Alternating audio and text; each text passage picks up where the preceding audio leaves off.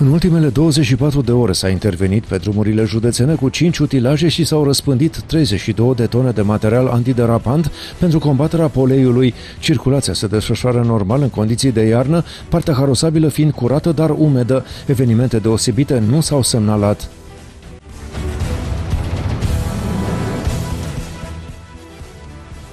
S-a aprobat organigrama la Ansamblul Folcloric Național Transilvania. Decizia vine în urma unei solicitări a ansamblului pentru suplimentarea numărului de posturi cu două, unul de instrumentist, iar altul de balerin, în scopul diversificării repertoriului ansamblului și pentru a da posibilitatea participării instituției la cât mai multe evenimente artistice. Oficialii ansamblului Transilvania susțin că se impune o creștere a numărului de posturi aprobat în condițiile în care numărul reprezentațiilor este în continuă creștere, iar complexitatea spectacolelor realizate în ultimul timp s-a dezvoltat semnificativ.